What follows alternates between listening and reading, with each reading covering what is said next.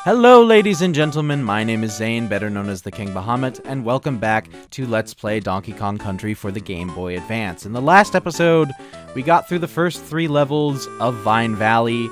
In this episode, we cross, we start to cross this uh, big old bridge here with crocodile statues on it for some reason, and tackle the level Orangutan Gang. This level kind of sucks if you're going for 100% completion because there are five bonus levels. So, real quick, uh, this is a steel keg. We saw these as early as the first level, but this is the best, first best opportunity I have to actually show you what they do. You can ride them by bouncing them into a wall and jumping on top of them. They're pretty fun to use, but the mechanic is kind of not really explored very much. Also, I recommend bopping as many critters as you can find along the way, because when we go over here, we get some claptraps, and we get introduced to our next animal buddy. This is Espresso. He cannot attack, but he can walk over certain very small enemies, and also, perhaps more importantly, you jump and press the A button repeatedly, he can fly. And that's, or rather glide, I should say. Unfortunately, he cannot attack larger enemies like this guy here, Manky Kong. Manky Kong just sits in place and throws a bunch of barrels at you. But you can bop him on the head, and I actually want to dismount Espresso, Espresso here. And jump up over here, and throw a barrel just barely slow enough to hit Manky Kong and get a hidden camera from him. So, anyways, uh, progressing along and mistiming our jumps and falling down into the pit. Ugh. This level's going to be a trip, isn't it? Thankfully, if we go back to the, uh, go back to the checkpoint barrel, spits us out right before, or right after where we picked up espresso, espresso first. I'm going to keep calling him espresso, aren't I? He's just gonna be a, uh, he's just gonna be a coffee, isn't it? Which is hilarious because I don't drink coffee. I also apparently have no ability to judge spatial awareness because I just tumbled headlong into that pit which I could have avoided by being like two inches to the right.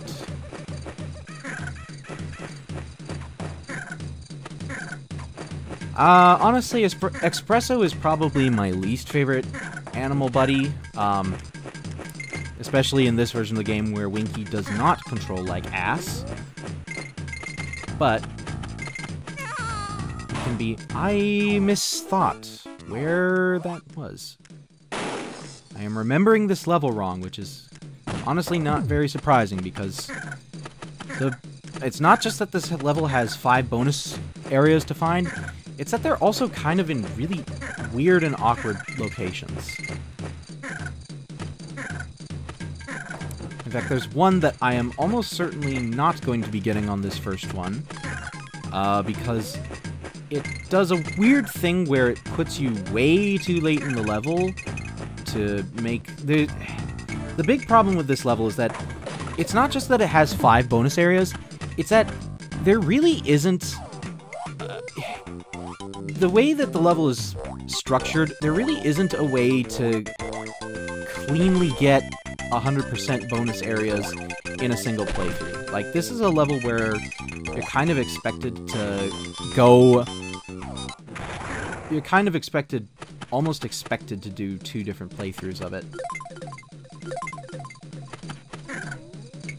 And actually, I think I've already missed uh, another thing of bonus. Oh no, here we are.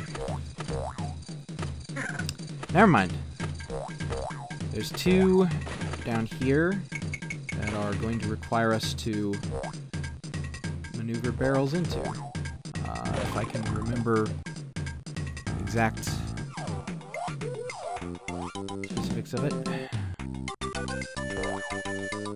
Anyways, we get the G from this bonus uh, area. We get put out back here so we can take this barrel and move it into this wall. This is what I was thinking of when I accidentally ran to that pit way earlier. I couldn't remember where it was exactly. Okay. Now the last bonus area is much easier to get if you have Espresso with you.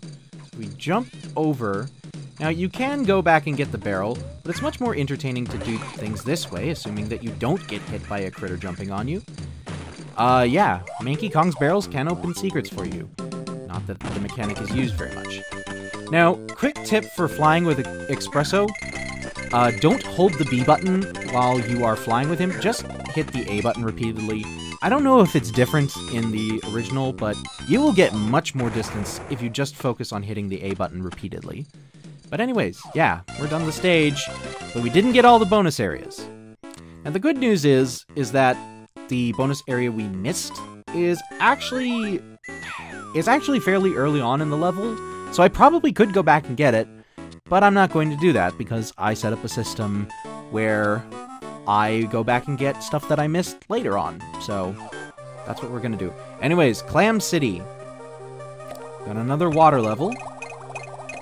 And as you can expect from the name, there's a lot of Klambos around here which is kind of a nuisance because we can't fight Klambos with our friend Enguarde, who thankfully we get pretty early on in the level, but we also don't get any more Enguardes. Uh, there aren't any more Enguarde crates uh, lying around. So we have to keep this guy for as much of the level as we can, and if we get hit past the halfway barrel, we are kind of SOL for getting him back, so I'm going to try and play a little bit more carefully with Enguarde than I usually have been when I did in the first water level. Assuming that I'm not getting stuck on coral. Thank you. I think if... I think if we can sneak past this guy, you can see that hidden camera right there. Oh, the section of the wall is a lot larger than I thought it was. Thankfully, the slowdown is here to help me maneuver around pearls being spit at me. We got Chomps Juniors. Typically don't hunt in packs, but these guys do, apparently. Knock these guys out. Get a halfway barrel for our troubles. Alright, maneuvering around at the speed of slowdown.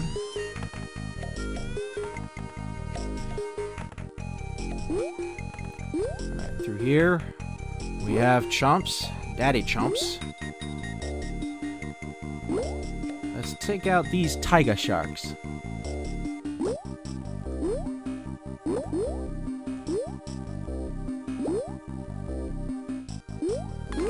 Get an N for beating up sharks.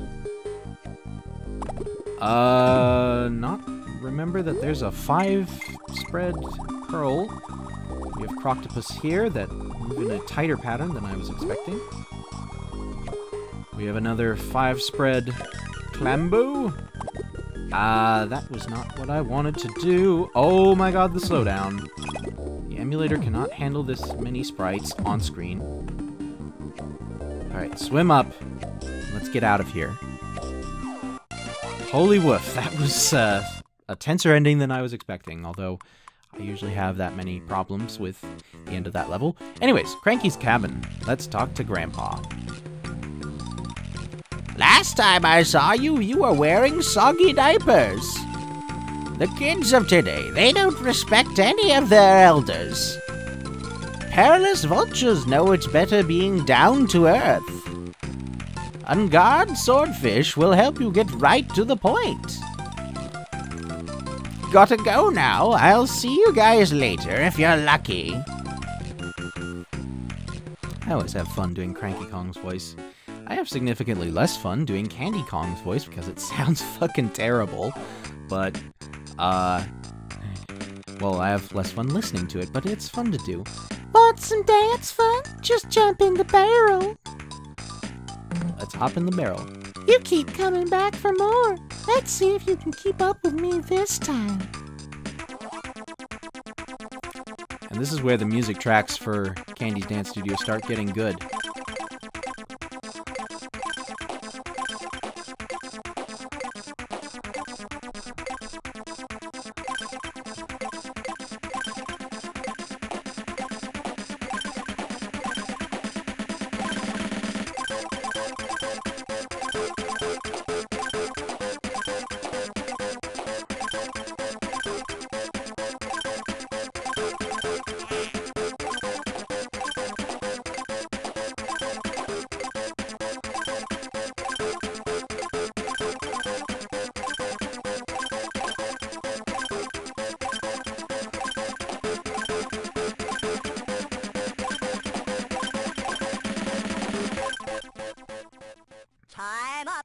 All right, that was pretty good, actually.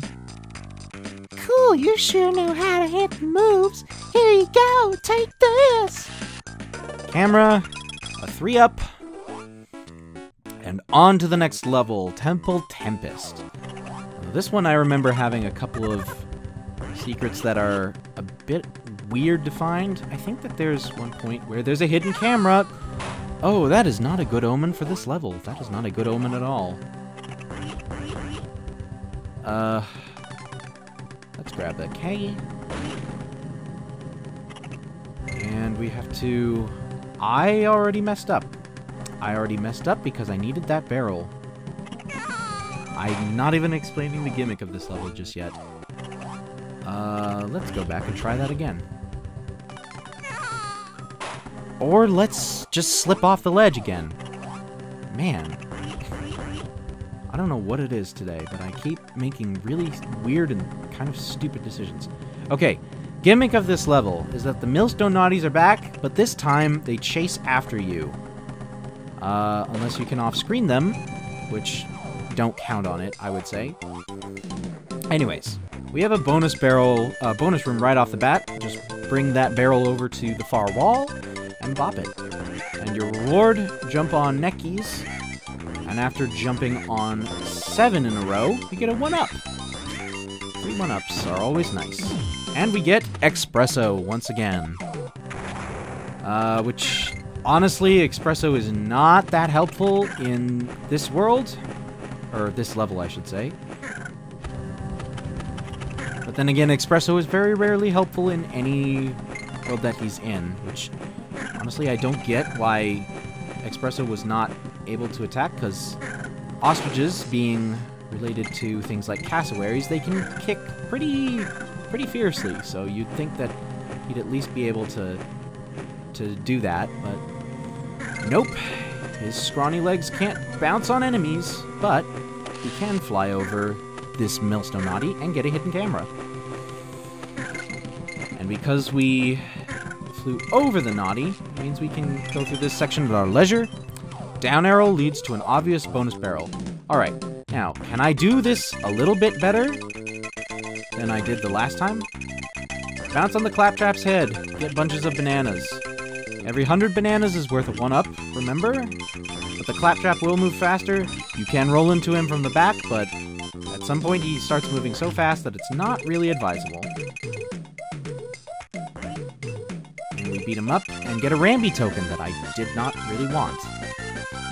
But it's okay because it's the first one we've had in a while. Uh, now, over here, I actually need to dismount Espresso, Espresso bleh, for a second and bounce on a a hidden item panel to get the N. Oh, slow down. Please do not... Please do not screw up my jumps. And we just basically fly over the rest of everything here. All the way up to the end. Jump up on this tire.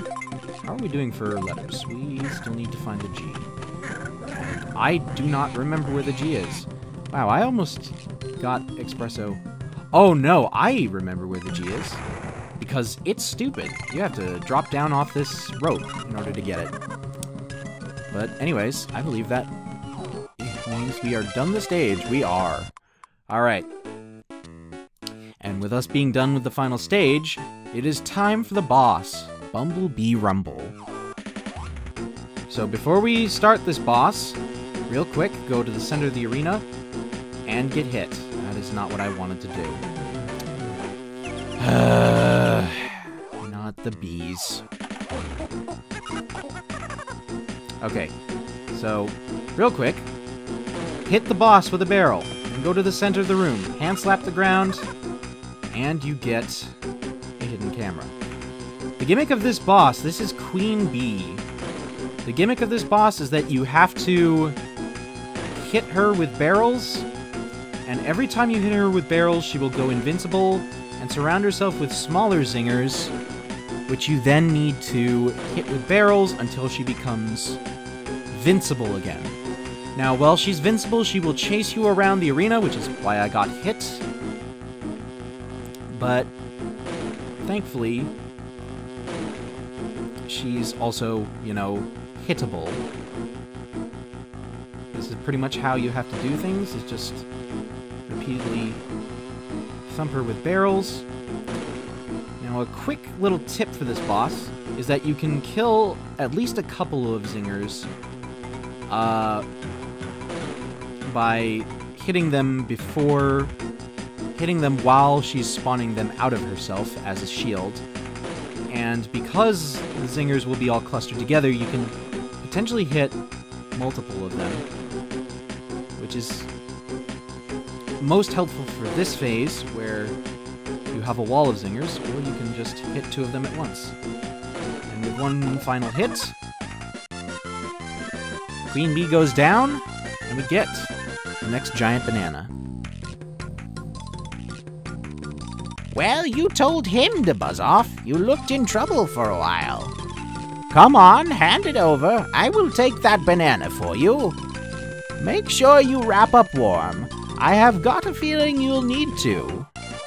There's some weird grammar in in the dialogue of this game. Alright, we beat the world, and we have moved on to World 4 Gorilla Glacier. Uh, except not really, because there is uh, one level in Vine Valley that you may be able to tell I did not get everything in. And honestly, uh, we're probably better off going ahead and doing that real quick. So I will see you in just a sec to get that. And then in the next episode, we'll be off to World 4. This has been Zane, better known as the King Bahamut, and I will see you in the next episode of Let's Play Donkey Kong Country. Take care until then. At some point while playing through Orangutan Gang, I made a comment about how the stage is basically impossible to 100% complete in one run through. This bonus area that I missed is the reason why. It's not a hard bonus area to get through. All you have to do is that once you get Espresso, you have to backtrack to the beginning of the level, and then once you reach a patch of solid ground, uh, right before the right after the first uh, tree and vine line, you want to jump off and fly all the way to the left. In the GBA version, there will also be a hidden camera along the way, uh, floating in midair right before the bonus room. The problem with this level, with this bonus area, is that it's not so much that it's hard to find, but once you complete it, it spits you out all the way towards the end of the level, like right before the last two or three bonus rooms. So you either have a choice of backtracking through the level to try and get an earlier bonus room, which is annoying, falling to your death and starting the level all over again, or you can do everything in the level and just go back for the early bonus room and get it after completing everything else which is what I chose to do. It's kind of stupid, but to be honest, it's not too bad. It's just, I find it a little annoying that this is one of those levels where you basically can't do everything in a single go. Uh, at least not, at least not in an efficient way. But anyways, with that said, let's uh, take a look at our at the camera what the cameras gave us for this episode, and I will see you next time for World 4. Take care.